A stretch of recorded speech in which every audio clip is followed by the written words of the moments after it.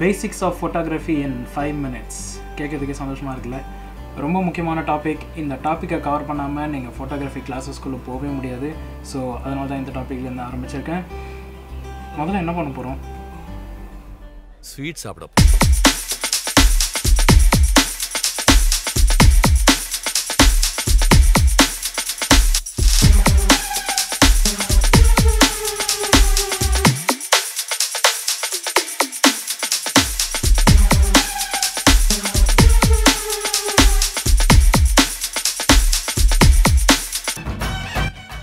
aperture shutter speed and ISO இந்த மூணு டாப்பிக்கை கன்ஃபியூஸ் பண்ணிக்காமல் ஈஸியாக எப்படி கற்றுக்கிறது அப்படின்றத இன்றைக்கி நீங்கள் பார்க்க போகிறீங்க இந்த மூணு செட்டிங்கும் எதுக்கு? ரொம்ப சிம்பிளாக சொல்லணும்னா உங்களுடைய ஃபோட்டோவை பிரைட் ஆக்கிறதுக்கு யூஸ் ஆகும். பட் இது மூணுத்தையும் என்ன பண்ணால் பிரைட் ஆகும்? இதில் வேறு என்னென்ன அட்வான்டேஜஸ் இருக்குது அப்படின்றதான் இன்றைக்கி நீங்கள் பார்க்க போகிறீங்க okay let start with aperture first point ஆப்பிச்சரை குறைச்சிங்கன்னா உங்களுடைய ஃபோட்டோவோட பிரைட்னஸ் இன்க்ரீஸ் ஆகும்.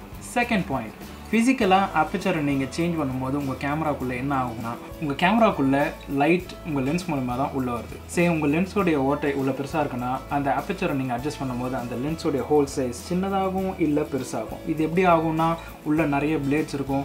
அந்த பிளேட்ஸ் எல்லாம் உள்ளே இப்படி அலைன் பண்ணியிருப்பாங்க ஸோ நீங்கள் அப்பச்சரை கம்மி பண்ணிங்கன்னா ஆட்டோமேட்டிக்காக அந்த ஹோல் சைஸ் பெருசாக இருக்கும். நிறைய லைட் உள்ளே வரும். பிரைட்டாக இருக்கும். ஓகே ஃபிசிக்கலாக இதுதான் நடக்குது.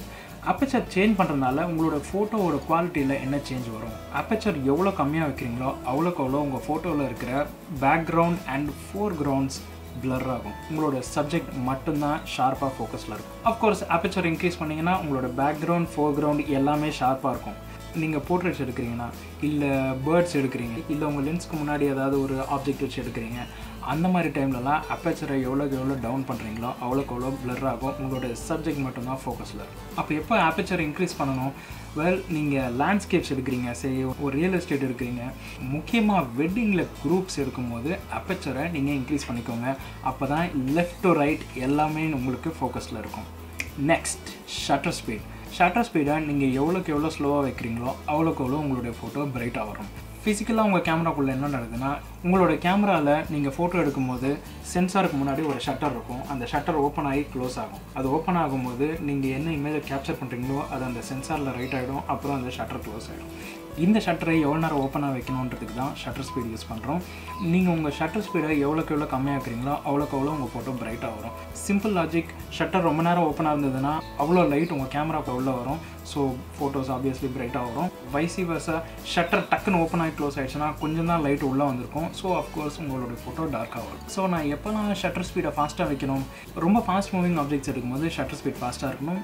ஸ்டில் ஆப்ஜெக்ட்ஸ் எடுக்கும்போது ஷட்டர் ஸ்பீட் ஸ்லோவாக வச்சுக்கலாம். சே ஒரு ஸ்போர்ட்ஸ் ஃபோட்டோ எடுக்கிறீங்க. உங்கள் வீட்டில் குழந்தைங்க ஓடிட்டு இருக்கும்போது ஃபோட்டோ எடுக்கிறீங்க. அதெல்லாம் வந்து ஃபாஸ்ட் மூவிங் ஆப்ஜெக்ட்ஸ் ரொம்ப வேக வேகமாக மூவ் மூவ் ஆகிட்டே இருக்கும். அந்த டைமுக்கு நீங்கள் ஷட்டர் ஸ்பீடை ரொம்ப நேரம் எக்ஸ்போஸ் பண்ணீங்கன்னா சே இந்த ஆப்ஜெக்ட் இங்கேருந்து இங்கே ஒன் செகண்டில் வருதுன்னா நீங்கள் ஒன் செகண்ட் ஓப்பன் பண்ணி வச்சிங்கன்னா இங்கேருந்து இது வரைக்கும் வர மூவ்மெண்ட்டை ஃபுல்லாத்தையும் அது ஒரே ஒரு ஃப்ரேமாக கேப்சர் பண்ணணும் போது ஃபோட்டோஸ் பிளர் ஆகும்.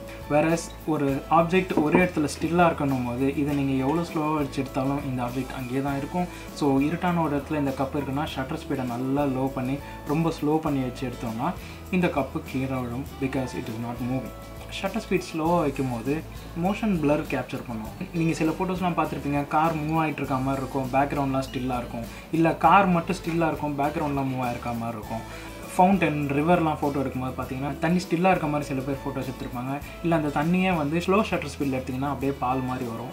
ஸோ ஸ்லோ ஷட்டர் ஸ்பீட்லேயும் அட்வான்டேஜஸ் இருக்குது ஃபைனலி ஐசோ ஐசோன்றது உங்கள் கேமராவில் ஃபிசிக்கலாக ஒன்றுமே பண்ணாது. உங்கள் கேமராவில் இருக்கிற சென்சருடைய லைட்டுக்கான சென்சிட்டிவிட்டியை இன்க்ரீஸ் பண்ணி விட்டுரும்.